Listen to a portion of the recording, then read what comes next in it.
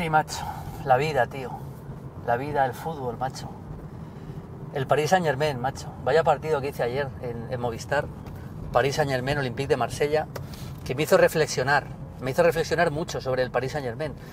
Eh, hay que hablar del Paris Saint Germain. Esto es Mundo Maldini. Aquí tenemos a Adri grabando como siempre por las calles de Alcalá. Tenemos que inventarnos una canción por las en vez de por la puerta de Alcalá, por las calles de Alcalá, porque muchas veces grabamos vídeos aquí, que tenemos aquí nuestra nave, aquí en Mundo Maldini. Eh, dentro de poco ya haremos los primeros 300.000 suscriptores, que ya si los vas poniendo en fila, ojito, ¿eh? Y vamos a batir otra vez el récord de visualizaciones este mes. Así que gracias a todos, cracks, que sois, sois los mejores. Eso es así. Y también es así que el Paris Saint Germain eh, por fin ha construido un equipo, un equipo realmente con equilibrio. Y me apetece hacer este vídeo hablando del Paris Saint Germain, sobre todo tirando la pregunta, ¿es o no candidato a la Champions por fin?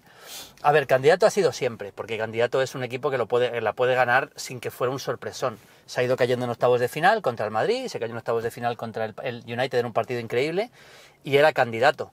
Pero era un candidato con algunas, con, con algunas fisuras evidentes, una en el mediocampo. Creo que ha ido poco a poco construyendo eh, el equipo para, para romper esas fisuras. Ojo, que la Champions, aquí el nivel es altísimo y, y a lo mejor se queda otra vez en octavos o en cuartos o en semifinales. O llega a la final y la pierde. Yo no estoy diciendo que vaya a ganar la Champions. Lo que sí estoy diciendo es que este Paris Saint Germain me da una sensación de fiabilidad mayor al que, al que daba las anteriores temporadas porque digamos que esas fisuras las ha, las ha superado. ¿Y cómo? Pues fichando bien. Eh, a ver, ¿en qué no funciona el Paris Saint Germain el año pasado? No voy a analizar el partido contra el Marsella porque fue tal, tal, tal recital en la primera parte, aparte que el Marsella fue un equipo que fue suicida, porque Vilas Boas salió con una defensa adelantada contra un equipo que tiene a Mbappé, que tiene a pasadores como Di María, eh, como Berratti, que por cierto dio una exhibición. Luego hablo de Berratti, porque yo tengo muchas discusiones con amigos futboleros que no les gusta Berratti y sinceramente no lo entiendo, macho. O sea, no entiendo que a alguien no le guste Berratti, no lo puedo entender. Pero bueno, eh, a ver, ¿en, qué no funcionó el Paris Saint Germain la temporada pasada? Pensad, ¿en qué no funcionaba?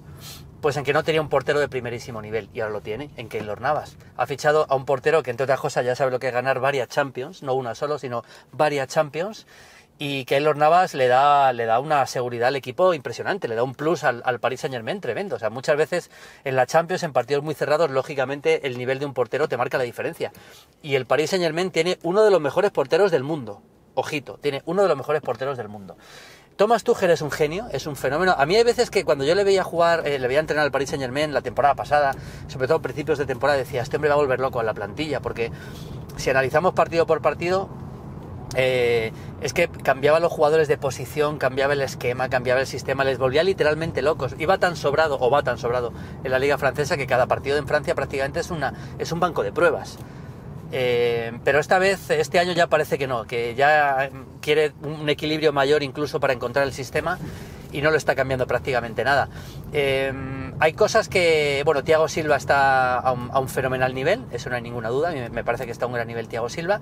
Bernat aporta bastante por la banda izquierda, la verdad que es un lateral con bastante capacidad para llegar. Ahora está lesionado, también me parece un lateral fantástico. También está Kurzawa por ahí, pero lo más importante de todo, lo que me parece más importante de todo es, eh, por ejemplo, lo que está haciendo con Marquinhos. A ver, Marquinhos, el, el Paris Saint Germain tenía un problema grave, que era el, en el mediocentro realmente. No, encontraba un mediocentro de, de, nivel desde que se fue Thiago Mota, que por cierto acaba de, de debutar como entrenador del Genoa, pero es otra historia. Eh, digo que no encontraba nadie para suplir a Thiago Mota para jugar en esa posición. Lo, intentó con todo. Berratti no es un pivote. Berratti necesita jugar de interior para liberarse un poquito más. No es un pivote, ni mucho menos. Eh, y no tenía. No acaba de encontrar jugadores ahí, francamente. O sea, no le funcionaba nada.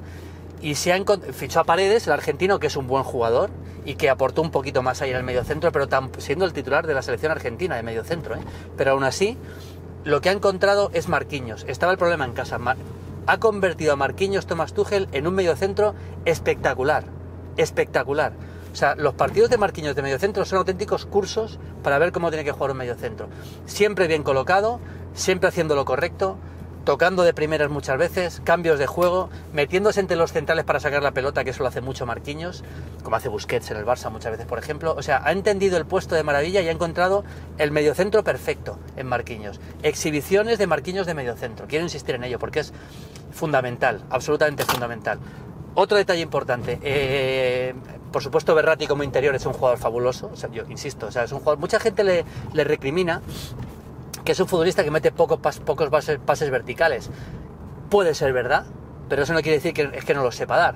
Eso quiere decir que muchas veces él lo que quiere es controlar el juego en el medio campo. Pero, por ejemplo, el otro día contra el Olympique de Marsella y en muchos partidos yo le he visto meter pases verticales fantásticos, pases de los que rompen líneas. Eh, me parece que Ander Herrera aporta bastante al medio campo, jugando como interior también.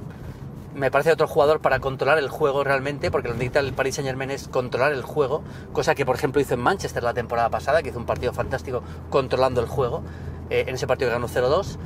Y luego eh, hay que hablar de Di María. O sea, por supuesto tiene jugadores como Draxler, etcétera, etcétera, para, para, mejorar la plantilla. Pero Di María, lo ponía yo en Twitter después del partido el que comenté en Movistar contra el Marsella. Eh, lógicamente los focos se los lleva Mbappé, se los lleva Neymar, que ahora está lesionado, se los lleva Cavani, se los lleva Icardi. Pero Di María, ahora mismo, el Fideo, es uno de los mejores jugadores del mundo. O sea, lo digo así, el momento de forma de Di María es uno de los mejores futbolistas del mundo ahora mismo, Di María. Es espectacular cómo está jugando semana tras semana, los pases de gol, cómo se mueve, hasta el punto de que cuando se recupere Neymar, eh, tiene que buscarle Tuchel un sitio a Di María, no le puede dejar fuera del equipo, dando por hecho que la delantera va a ser Icardi, Neymar, eh, Mbappé, que ahora ha hablado de ese tema también, creo que hay que buscarle sitio a Di María, y el sitio de Di María va a ser como interior, exactamente en la posición en la que Di María jugaba eh, en la selección argentina, pues por ejemplo en 2014, que es el momento, digamos, mejor que ha tenido Di María. Me estoy metiendo aquí un poco, no, aquí, aquí sí te va a entender. Que es el mejor sitio que, que ha jugado Di María en la selección argentina como interior. Bueno, pues va a ser la posición esa, quizá por Ander Herrera, quizá un medio campo con Marquinhos, Berratti, Di María y arriba los, los, los tres bestias que tiene Icardi, Mbappé y, y Neymar. Eh, voy a hablar un poco de los de, de Icardi o Cavani. Cavani ha estado lesionado y esa lesión de Cavani le ha costado muy caro, porque ahora mismo el momento de forma de Icardi hace que no le pueda quitar Tomás Tuchel. Ayer, Icardi, ayer Cavani volvió después de dos meses, eh, estuvo a punto de hacer un gol en un remate de, medio chilena, pero francamente el momento de forma de Icardi es superior. Y para jugar como 9 puro, porque es como va a jugar, porque tiene dos jugadores abiertos como Mbappé y Neymar, para jugar como 9 puro es mejor Icardi que Cavani ahora mismo. Es un delantero de área que prácticamente todo lo que le cae acaba siendo gol. Es impresionante la capacidad rematadora y el instinto que tiene el área eh, Icardi para ser el, goleador que necesita el Paris Saint Germain y lo está demostrando.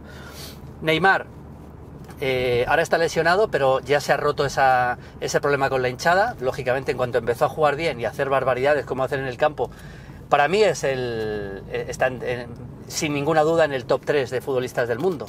Eh, con, Neymar, con, con, Messi, con Cristiano y él, y probablemente se pueda meter ahí Mbappé ya cerquita. Neymar, eh, yo no estoy para nada de acuerdo en los que piensan que Neymar la temporada pasada no estuvo bien.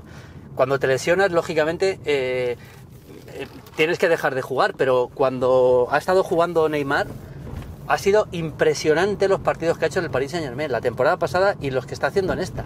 Verdaderamente impresionantes. Cuando Neymar se recupere, vamos a ver a un futbolista absolutamente descomunal, desequilibrante en todos los sentidos. Mbappé.